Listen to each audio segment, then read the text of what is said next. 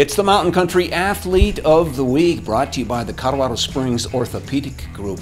And this week we're with Team USA freestyle wrestler Tiare Ikei. Tiare, thank you for being with us. We appreciate it. And I wanted to ask you, how are things going for you? It's going really smooth. Recovery has been going really well. Uh, training has been amping up, and now we're looking at possibly competing in Spain in the next month. What uh, is your secret so far to your success?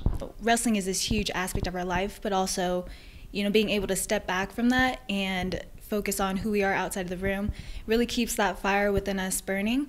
And of course, like having this great team at the Olympic Training Center, you have a bunch of Olympians, world team members, national team members, and of course, a great staff Coach Terry Steiner, um, Coach Jessica Medina, Coach Izzy. They're all just great support, and they really push us all in the room every day. And a headlock from Ikei. She plants her on the back. That's going to be it. TREK. Or, or both of these are actually from the Junior World Team Trials. Uh, 2020 was the one that was affected by COVID, so there wasn't technically a world team set there. But this one right here is the one I er earned most recently. And unfortunately, I wasn't able to actually compete at Junior Worlds in Russia due to sustaining another concussion. So hopefully, we'll get more of these and actually be able to travel. Headlock to the fall in impressive fashion. And she's cool. going to make the junior world team. Do you have like a, a, secret move? I mean, I guess I do have like our go to shots, such as like the high crotch, but I'm also like really big on the upper body offensively. Um, but I feel like I surprise myself with some of the moves I'll do too. exactly how did you get involved in you know, starting to compete in women's wrestling in the first place?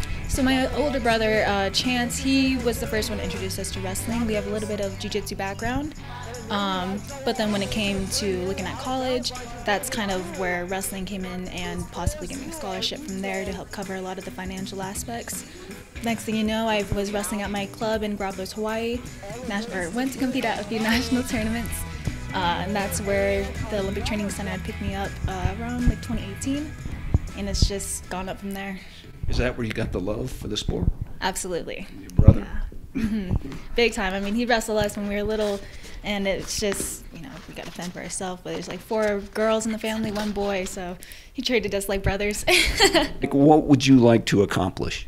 Um, so the big goal is, of course, the Olympic gold medal, um, making the Olympic team. But also, there's world title world titles out there uh, on the senior level, U23. Right now, I'm U23 eligible. Just had my last year in juniors, so getting back into that competition, qualifying for those teams, and competing domestically and internationally, just collecting as many titles as I can and improving just overall. I think it takes a lot of discipline, you know, getting to know how to approach nutrition, you know, just being able to be mindful about what we're putting into our body, um, how much, you know, we're training and adjusting that with the weight room. The weight cut is pretty decent. It used to be pretty hard, at least seven to 10 pounds. But now I try to stay within at least like two, three kilos. What's your ideal weight? Um, probably around. Oh, you, I thought you said you're not supposed to ask women. That's a lady's weight. but probably around like 55 kilos right now. Coming up in Spain in July, here in just a, a few weeks. Tell us about this competition and how big of a deal is it for you?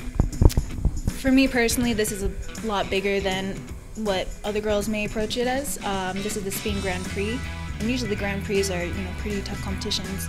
Um, but for me, this is gonna be my first tournament back in probably like about a year. Uh, coming back from these two concussions last year, so this is really gonna put me to the test and see where I'm at as far as uh, recovery and progress.